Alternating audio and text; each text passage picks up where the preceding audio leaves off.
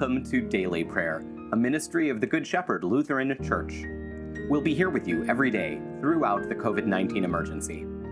I'm Pastor Bob Schaefer. It's good to see you. Today is Friday, July 31st, the Friday before Proper 13. Let's take a moment of silence now as we begin.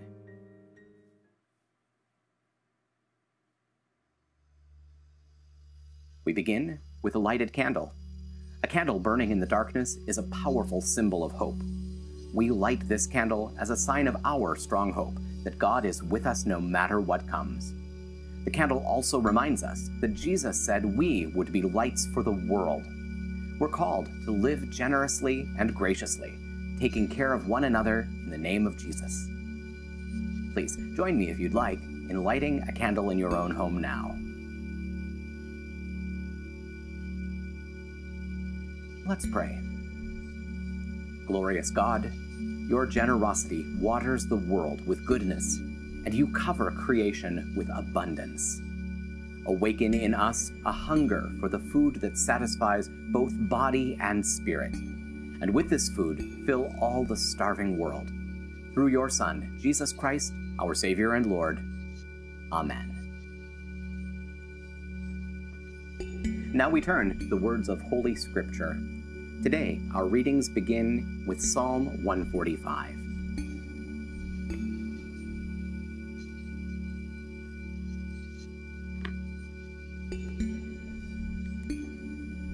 The Lord is merciful and compassionate.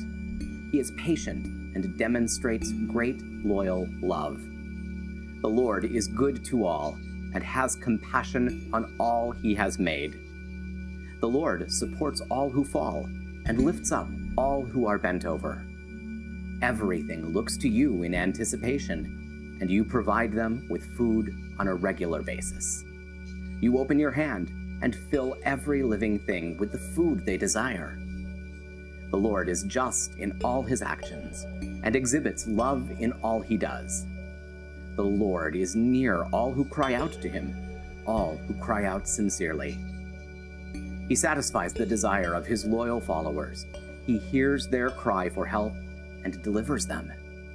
The Lord protects those who love him, but he destroys all the wicked. My mouth will praise the Lord.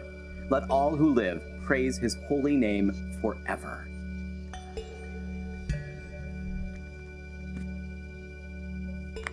We continue in the prophet Isaiah, the 51st chapter. Wake up! Wake up! Get up, O Jerusalem! You drank from the cup the Lord passed to you, which was full of his anger. You drained dry the goblet full of intoxicating wine. There was no one to lead her among all the children she bore. There was no one to take her by the hand among all the children she raised. These double disasters confronted you, but who feels sorry for you? Destruction and devastation, famine and sword. But who consoles you? Your children faint. They lie at the head of every street like an antelope in a snare. They are left in a stupor by the Lord's anger, by the battle cry of your God. So listen to this, oppressed one, who is drunk, but not from wine. This is what your sovereign master, the Lord your God, says Look, I have removed from your hand the cup of intoxicating wine, the goblet full of my anger. You will no longer have to drink it. I will put it into the hand of your tormentors, who said to you, Lie down, so we can walk over you. You made your back like the ground, and like the street for those who walked over you.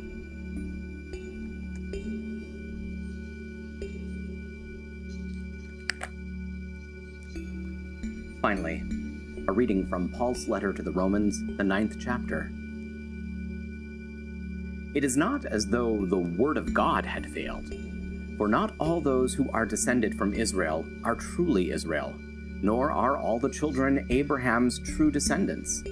Rather, through Isaac will your descendants be counted.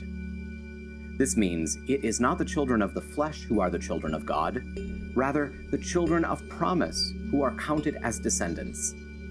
For this is what the promise declared About a year from now, I will return, and Sarah will have a son. Not only that, but when Rebekah had conceived children by one man, our ancestor Isaac, even before they were born or had done anything good or bad, so that God's purpose in election would stand not by works, but by his calling, it was said to her, The older will serve the younger. Just as, it, as it is written, Jacob I loved, but Esau I hated. This is the word of the Lord. Thanks be to God.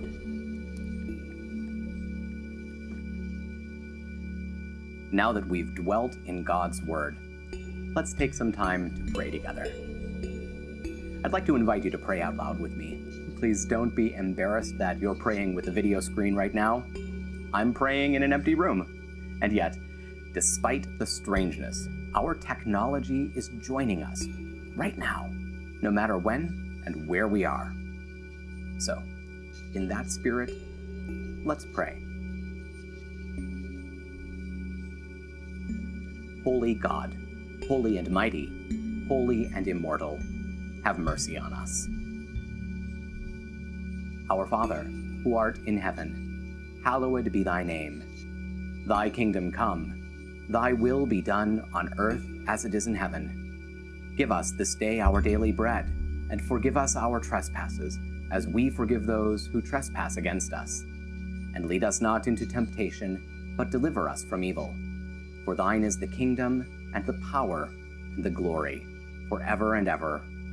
Amen. I believe in God, the Father Almighty, creator of heaven and earth. I believe in Jesus Christ, God's only Son, our Lord who was conceived by the Holy Spirit, born of the Virgin Mary, suffered under Pontius Pilate, was crucified, died, and was buried. He descended to the dead. On the third day he rose again. He ascended into heaven. He is seated at the right hand of the Father, and he will come to judge the living and the dead.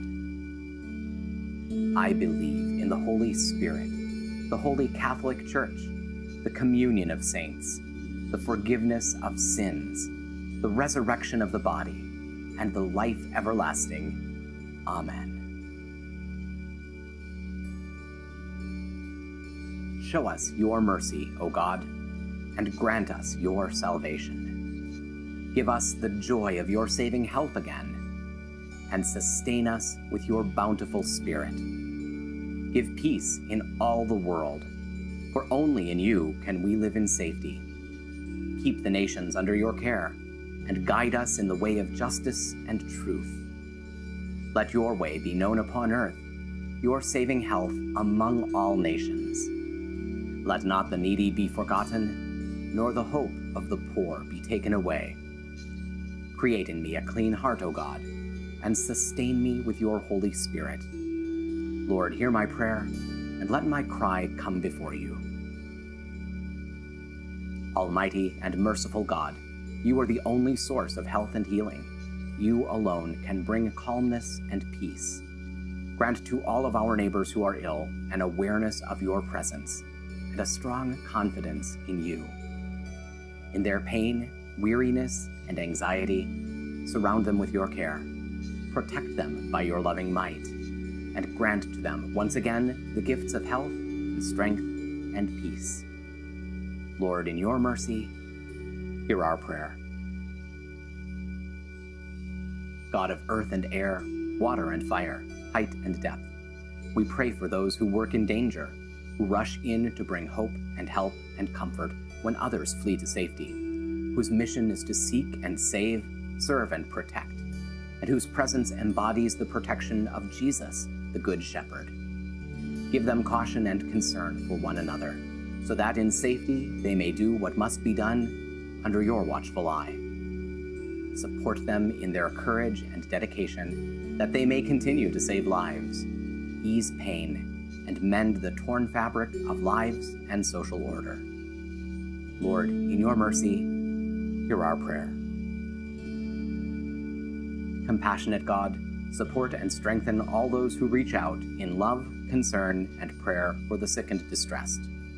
In their acts of compassion, may they know that they are your instruments. In their concerns and fears, may they know your peace. In their faithful serving, may they know your steadfast love. May they not grow weary or faint hearted. Lord, in your mercy, hear our prayer. Merciful God, in the stillness of our souls, we listen for your voice to know again that you are God. Quiet our restless hearts with the knowledge that you are near us, keeping watch over your own. Rekindle our faith and light the lamp of hope within our hearts. Then take us by the hand into each day that lies ahead. For where you lead, we can confidently go with Jesus Christ, our Lord, in whose name we pray. Amen. Each day, I like to share with you one good thing a bit of hopeful news, a moment of beauty, a tip to help you through the day.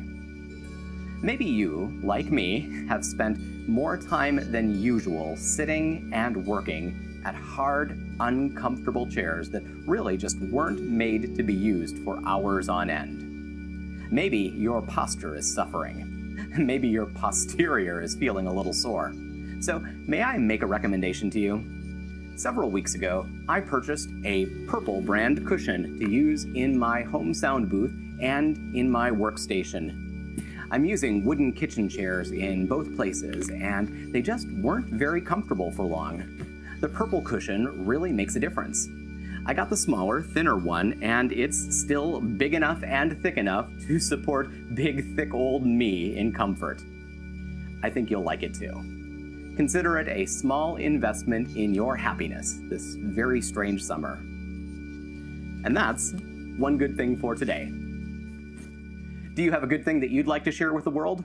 Send us your photos and videos by going to bit.ly slash mygoodthing and share your tips and stories with at Pastor Schaefer on Twitter. I can't wait to hear from you. And that will do it for now. Thank you for spending a few minutes of your time with us. We hope it's been a blessing please take a moment to like this video, subscribe to our channel, and tell your friends about us. Stop by and visit us online at goodshepherdlife.org, and please consider making a gift to support our ongoing ministry. You'll find our PayPal address in the program notes. Stay well, be of good cheer, and be kind to one another. I'll see you tomorrow.